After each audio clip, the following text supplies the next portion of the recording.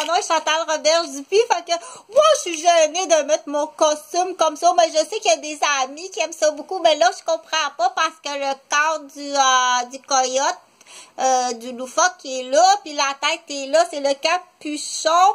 Donc, euh, c'est pas pour faire rire de moi. Si tu ris de moi, je pense pas que tu vas être une bonne maman ou un bon papa. Parce que lui, il trouve ça bien drôle, là. Il apprend à s'habiller, c'est quelque chose.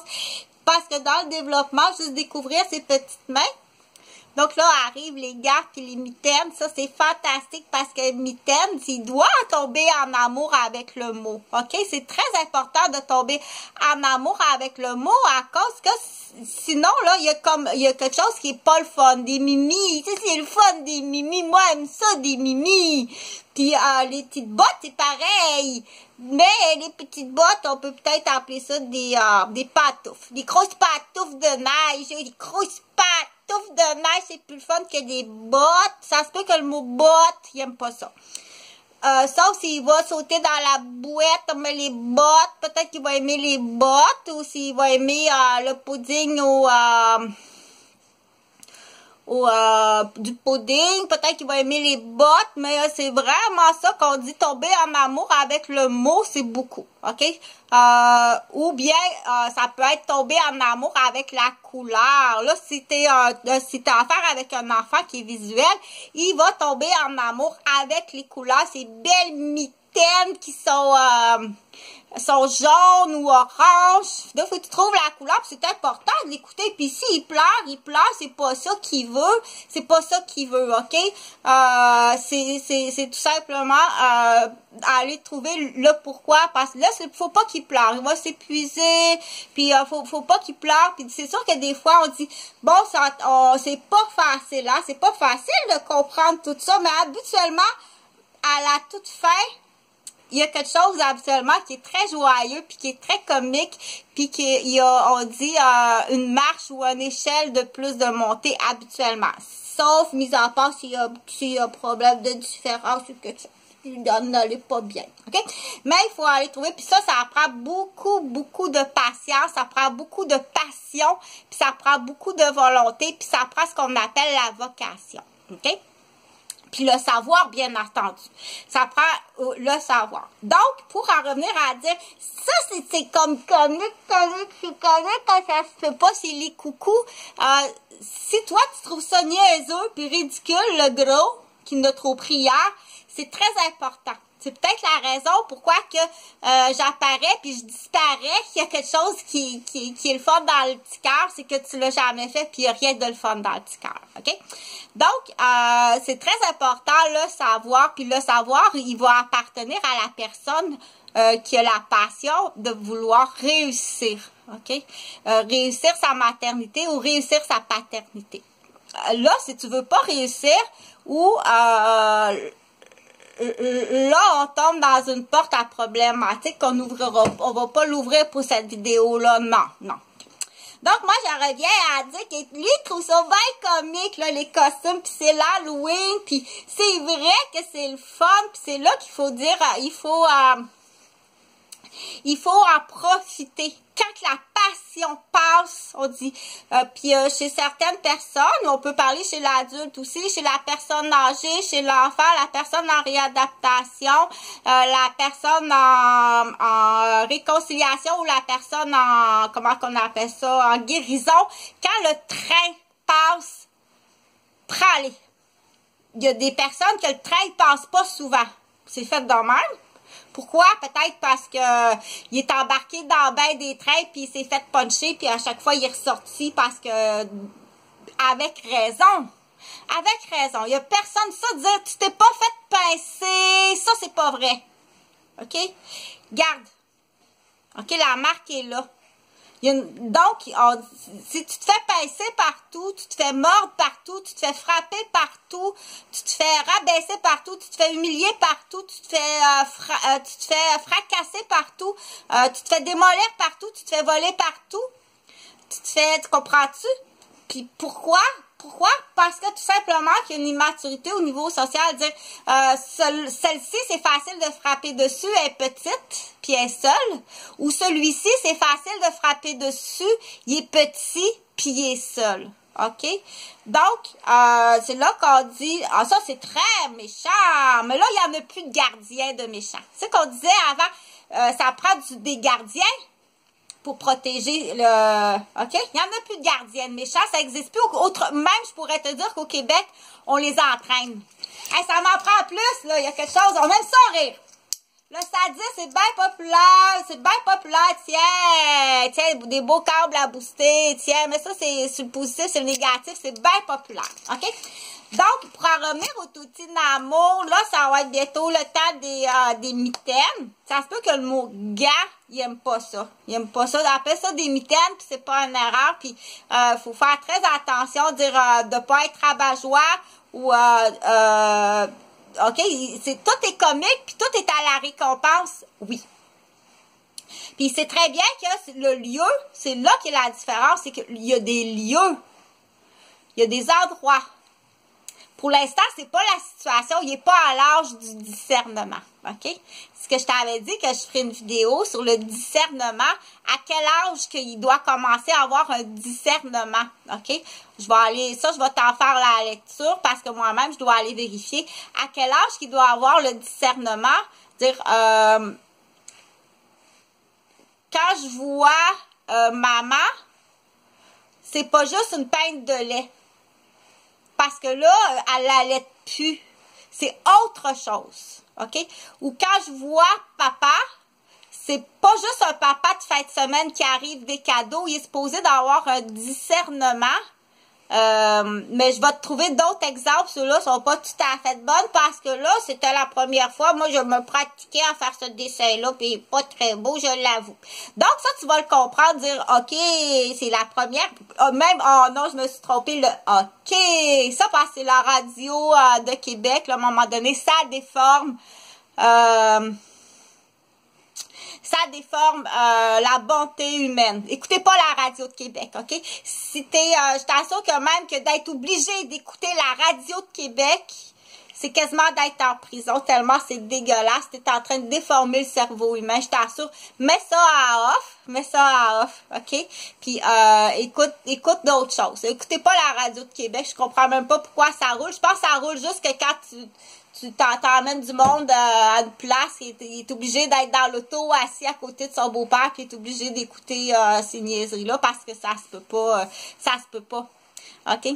Donc, euh, OK, ça, c'est ton premier dessert. Là, déjà, là, c'est pas le fun pour l'enfant. OK? C'est vraiment pas le fun. Puis, tu vois, même moi, là, je me suis comme... Euh, j'ai fait une imitation, mais euh, ça, ça peut être difficile à un moment donné à arriver pour une mère ou une éducatrice ou un professeur ou une grand-mère, puis voir le premier dessin de l'enfant puis euh, vouloir faire rire la gang autour. OK, belle ta première maison! Là, tout le monde rit. Comment que l'enfant se sent? Vraiment pas bien. Ça prend pas grand-chose, tu sais, pour, euh, pour défaire, euh, pour briser un enfant qui est tout petit. Ça, tu peux même pas t'imaginer à quel point, qu'est-ce que ça peut, il peut, il peut il peut dire, ah ben là, euh, moi, dessiner une maison puis faire rire de moi, c'est le premier échec en partant de la vie. Oui, c'est important. C'est vraiment dégueulasse. OK? C'est là qu'on dit, euh, t'aurais jamais dû avoir d'enfant. Va rire sur le bord du, du, bord. Va rire, va rire avec tes chums. Il y a de quoi que tu trouves drôle. T'aurais jamais dû avoir d'enfant puis tu dois payer. Très cher pour la destruction que tu as fait de tes enfants. C'est là que je motive beaucoup la génération... Euh, des 66. On va l'appeler les Stella Artois. Les Artois, là, je, les encourage beaucoup. Poursuis. Tu vas poursuivre euh, tous ceux qui t'ont brisé dans la vie. Tu veux tu les poursuives, OK? Avec discernement. Puis je vais te montrer comment faire. Euh, parce que oui, effectivement, euh, très souvent, c'est des euh, ça commence de même, ça commence mal. Tu sais, c'est la belle-mère.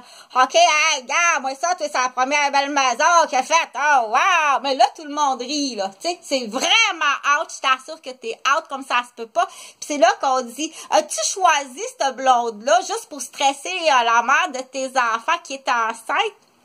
Oui. C'était juste un miroir que je faisais. c'est un miroir, tu vas comprendre parce qu'il y en a beaucoup, puis c'est beaucoup plus grave que qu'est-ce que tu penses. OK, ça, c'est pas grave, ça. Ça, c'est pas grave. Check bien ça, ce qui s'en vient. Check bien ce qui arrive, ça va être pas mal plus fun que qu'est-ce que tu penses.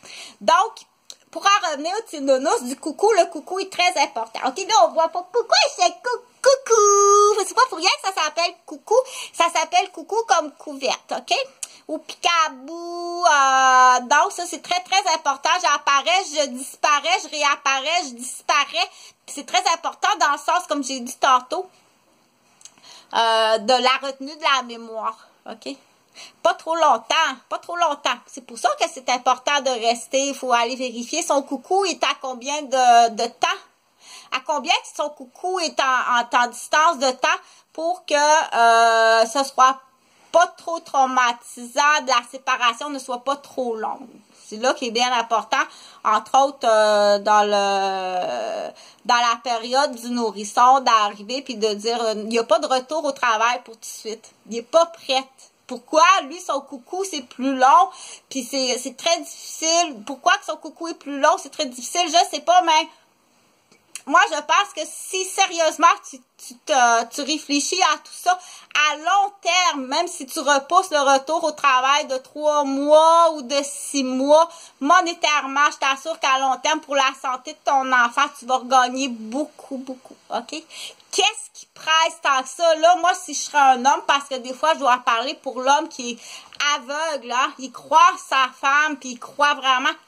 Mais qu'est-ce qui presse tant que ça à retourner travailler? Quand je te donne le choix de rester encore à la maison avec ton enfant qui est supposé d'être l'amour de ta vie, puis avec euh, ton mari qui est l'amour de ta vie? Qu'est-ce que tu as d'être si pressé à retourner travailler? C'est anormal c'est vraiment anormal, je t'assure. En tant que, euh, je te dirais, de témoin de mère, de dire, euh, oh non, hey, retourner travailler, si tu savais, là, hein, c'est comme on disait avant, oh, quand il est embarqué, c'est avant que les garderies existent, quand il est embarqué dans son autobus de maternelle, oh mon Dieu! Hey, mais là, quand on les regarde, ils ont huit mois garderie, là, comme, comment, qu'est-ce qui presse tant que ça? OK? Il y a quelque chose qui presse tant que ça que tu veux retourner travailler ou bien il y a, ou bien c'est l'homme ou bien c'est mais il y a quelque chose qui dit qu'à un moment donné surtout si monétairement la situation ne te l'oblige pas. C'est là qu'on on dit euh, pour les éducatrices les professeurs les grands-parents tu peux avoir la puce à l'oreille il y a quelque chose d'anormal. Oui il y a quelque chose d'anormal ok? Euh, c'est pas la carrière est importante. Non pas au Québec parce que tu peux avoir ce qu'on appelle euh, des, congés prolongés des congés sans solde ok? Fait que là si vous le bug petite famille toute parfaite que tout va bien on dit mais qu'est-ce qui arrive quand quelqu'un vient détruire que ce soit pour quelle raison. Bon, ça, c'est un autre dossier parce que je vais parler des mimi, parce qu'il y des mimi toutes choses pour bientôt, c'est le fun. Puis, euh, les, les bottes, c'est vrai que le mot botte, c'est pas si intéressant que ça, mais à part bouette, puis il va aller sauter dans la bouette, on appelle ça des grosses pantoufles de neige. Puis du coup, ben, du coup, les grosses pantoufles de neige avec du caoutchouc en dessous. Du coup, on rallonge la phrase, puis on rallonge les mots, puis c'est belle fois de caoutchouc. C'est quoi ça, du caoutchouc? Puis c'est quoi ça, de la neige? Puis c'est quoi ça, des grosses pantoufles? Là, mais ça se peut qu'il y en ait qui rient, mais on rira pas du dessin par contre. OK? Donc, c'est là que euh, du coup, faut là, je vais réexpliquer. On a parlé de l'estime de soi de l'enfant, de ses premières prouesses. Euh, qui était euh, même si c'est pas euh, réussi, ça doit être beau puis ça doit être récompensé. L'effort, dire, dis juste laisse faire le laisse faire le laisse faire le, le résultat de la maison, mais dire il a réussi à tenir un crayon. Lui, là, c'est ça. C'est ça c'est pas le dessin, mais faut, pour certaines personnes s'y explique, OK? C'est ça ici qui est important, OK? Il a réussi à tenir un crayon, de trouver le bon côté, c'est déjà beaucoup, là. Lui, tout ce qu'il fait dans sa tête, c'est vraiment miniaturisé, OK?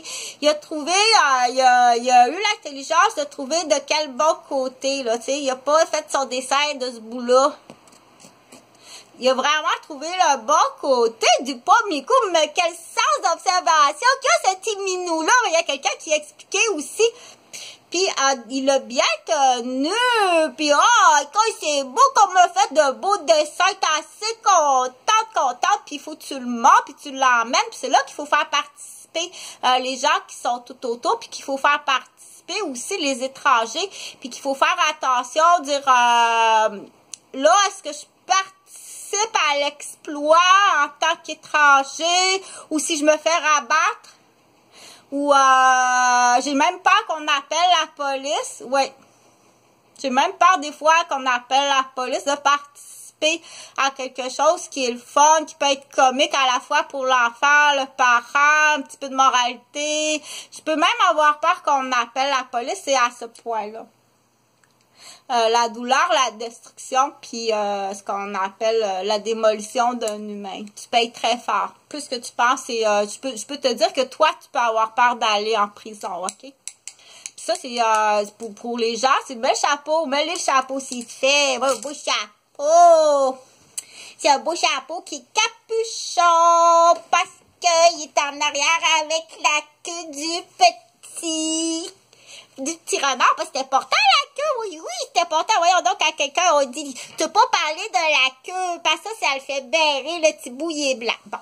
Ça le fait berrer la queue du renard, mais, oublie pas, Chantal, elle t'avait dit que c'est une fille. Même si elle a une queue en arrière, elle, c'est une fille. Puis ça, c'est très important. Euh, puis viens pas rire de moi, OK? Si ton enfant, il, il sait pas c'est quoi la différence entre un gars et une fille, c'est pas en voyant grand-père puis grand-mère habillé en pantalon qui fait comme pour l'instant la différence. Je t'avais dit de pas te montrer à la caméra sans mettre ta petite robe. Bon. Fait que là, moi, je aller mettre ma petite robe parce qu'effectivement, j'ai pas le droit de faire de la caméra comme ça. Ça existe, oui, ça existe. Si tu travailles dans ce domaine-là, tu n'es jamais allé voir, hmm, faut être épais à crise de dire, euh, est allé voir? Oui, je suis allée voir, une fois. C'est dégueulasse. Vraiment dégueulasse. Moi, je suis allée voir parce que j'étais entourée de, de fausses menaces, puis de, de subtilité, puis il y en avait trop autour de moi, puis de toute façon, toi, fais-le pas, mais moi, je suis allée voir, je suis infirmière, puis je suis éducatrice en garderie, mais pas éducatrice en garderie, mais infirmière, je suis allée voir, c'est assez dégueulasse, et oui, ça existe, ok? Oui, met ma petite robe. Tiens, va prendre ton déjeuner en face de l'aquarium, là. Oh, les beaux poissons qui se promènent dans l'aquarium à papy, avec les petites roches au fond. Salut, bon matin.